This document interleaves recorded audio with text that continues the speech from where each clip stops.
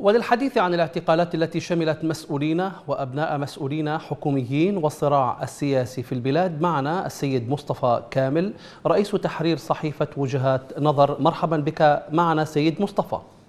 أهلا وسهلا حياكم الله وحيا مشاهديكم الكرام. أهلا بكم. بداية ماذا يعني اعتقال زعيم كتلة آه، كجمال الكربولي وكذلك عدد من أبناء المسؤولين السابقين؟ يعني أنا في اعتقادي اعتقال الكربولي آه، ليس إلا تصفيات سياسية بين أطراف العملية السياسية الاحتلالية آه، وهذا يتضح في ضوء الأكثر في ضوء المعلومات التي وردت إلينا قبل قليل من آه، جرى آه، رغم وجود آه، يعني الحصانة البرلمانية لجمال الكربولي فجرى اعتقاله صباح اليوم بعد أن أصدر رئيس مجلس نواب المنطقة الخضراء محمد الحلبوسي امرا بتجريده من الحصانة نعم. النيابية فجرا وهذا يدل على أنها عبارة عن تصفيات حسابات يعني سياسية بين أطراف بين الأطراف المشتركة بالعملية السياسية مع اقتراب الانتخابات.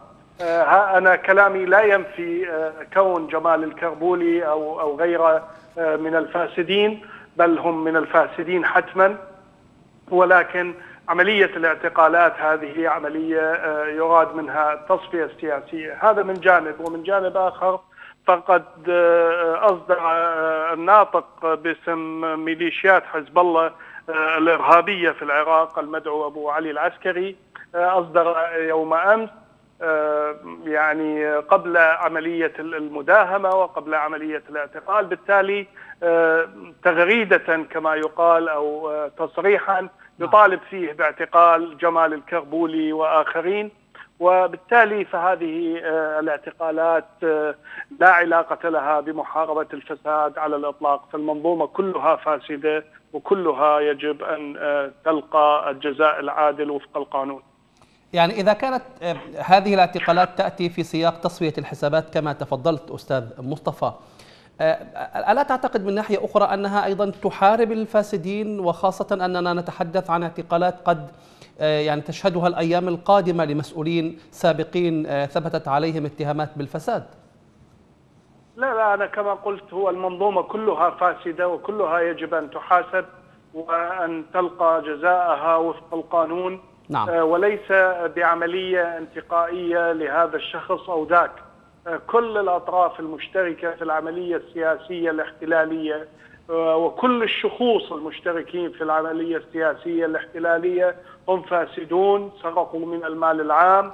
آه، كثير منهم ارتكبوا العديد من الجرائم آه، الإرهابية وليس فقط عملية جرائم الفساد فقط. استيلائهم على المال العام مستمر منذ نعم.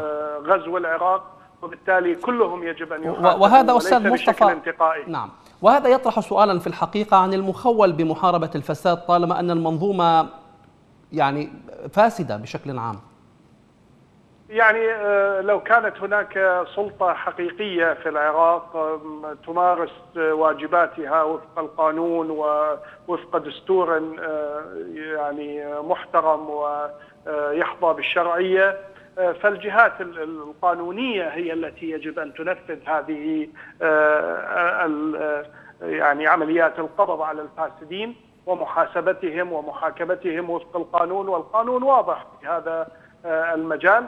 القانون العراقي آه، يعني يحمي الدولة ويحمي المجتمع من الفاسدين ولكن طبعا أنا أقصد القانون الذي كان سائدا قبل غزو العراق. أما الآن فالقضاء هو قضاء فاسد أيضا ويسمح بنشوء هذه الطبقة يعني الفاسدة بكل تفاصيلها التي استولت على المال العام وهدرت منه مئات المليارات من الدولارات خلال السنوات الماضية.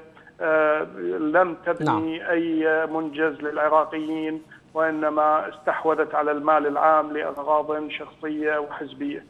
إذا العملية السياسية الحالية غير قادرة على تنظيف نفسها ومحاربة الفساد بداخلها كما تفضلت أستاذ مصطفى وهذا بالمناسبة ما يعد به رئيس الحكومة الحالي أنه نحاول أن نحارب الفساد وأن نكون أمام منظومة صالحة وما إلى ذلك ما الحل إذا باعتقادكم؟ الحل عندما يعود العراق إلى أهله ويتم تطبيق القانون بشكل صحيح ونتخلص من هذه العصابة بالكامل وحينها سنجد أفراد هذه العصابة يحاكمون وفق القانون ووفق الأصول المرعية في هذا الجانب.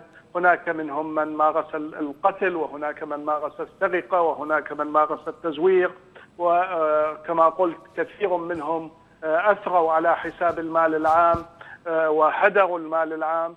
حينها سيتم محاسبة هؤلاء. نعم. أما هذه الإجراءات الانتقائية التي يقصد بها ضرب بعض الشخصيات السياسية مع قرب موعد الانتخابات تحديدا فهذه لا تسمن ولا تغني من جوع.